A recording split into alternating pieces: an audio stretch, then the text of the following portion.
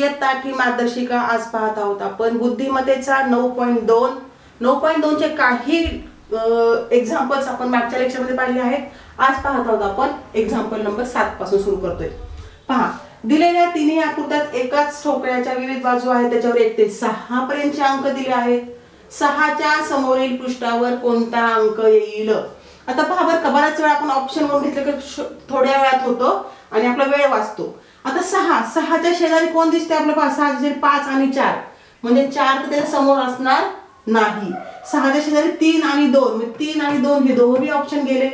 म्हणजे कोण उरलाय? ऑप्शनमध्ये एक. एक हा येणार आहे सहाच्या अपोजिट सहाच्या समोरील पृष्ठभागावर. शेजारी नाही.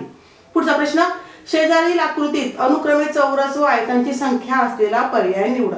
यांची वजाबाकी पण विचार बरं कधी कधी की चौरस किती जास्त आहेत आयतांपेक्षा आयत किती जास्त आहे चौरस चौर चौरसांपेक्षा? इथं फक्त आपलं पर्याय निवडायचे.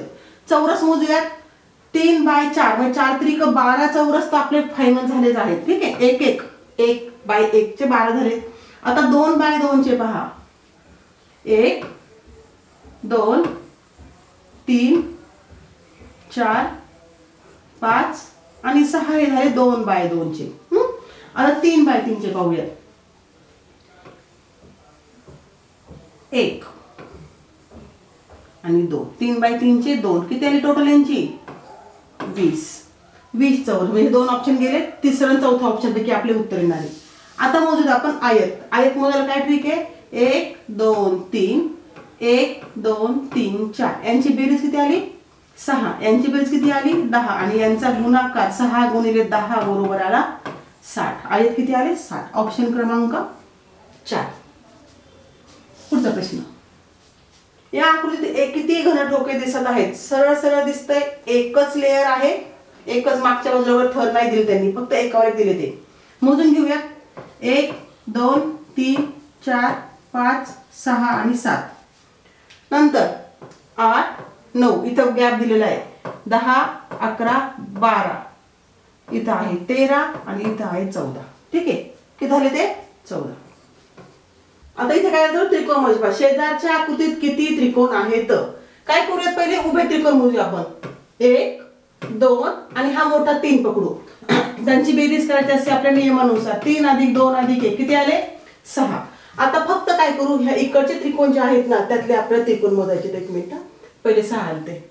एक अधिक दोन अधिक तीन. यांची बेरीज किती आली सहा. पुन्हा हे पहिल्यातले सहा आणि यातले सहा. बेरीज आली आपली बारा. पण पहा एक त्रिकोण दोनदा मोजला जातो. अशा वेळेस काय होतो? हा जो त्रिकोण आहे तो दोनदा मोजला गेला. मग आपल्याला वजा एक करायचं. उत्तर आलं अकरा. ऑप्शन क्रमांक तीन. पुढचा प्रश्न. खालील चारही घन एकाच घनाच्या विविध बाजू आहेत. त्यावर एक ते सहा अंक लिहिले आहेत. तर त्या खाली सम्मुख पहा सम्मुख पृष्ठावरील अंकाची चुकीची जोडी ओळखा. बऱ्याच वेळा ऑप्शननुसार जर केलं तर सोपं पडतं. आता सहा व एक. सगळ्या आकृत्यामध्ये पाहायचं सहाच्या शेजारी कुठे एक दिसतो का नाही? मग कदाचित तो सहाच्या समोरच्या बाजूला असेल. त्यामुळे हे ऑप्शन करेक्ट येऊ शकतंय. पाच व तीन. पाचच्या शेजारी पाच इथे कुठेही पाचच्या शेजारी तीन दिसत नाही. म्हणजे पाच त्याच्या समोरच्या बाजूला असणार आहे. दोन व पाच. आता पहा दोन व पाच इथे शेजारी आहेत. समूह कसे काय असणार मग ते? त्यामुळे ऑप्शन आपलं चुकीचं सांगितलेलं आहे. आपल्याला चुकीचं सांगितलेलं आहे. दोन व पाच तसं दोन व चार पहा. चारच्या शेजारी कुठेही दोन नाही किंवा दोनच्या शेजारी चार दिसत नाही. त्यामुळे हे अपोज असू शकतात. उत्तराला आपलं तिसरं. पुढचं. शेजारी आकृतीत किती पृष्ठभाग आहेत? सरळ सरळ दिसतात ते मोजायचे असतात. पहा. एक पृष्ठ दोन तीन. आता हे इकडचं आहे ते एक दोन तीन इकडचं चार पाच सहा सात आठ नऊ दहा अकरा बारा तेरा. आता इथे पहा हा आहे चौदा हा आहे पंधरा हा आहे सोळा. ठीक आहे आता ही समोरची एक बाजू दिसते आपल्याला सतरा आणि सेम असंच याच्यासारखंच मागच्या बाजूला असणार आहे अठरा. ऑप्शन क्रमांक दोन.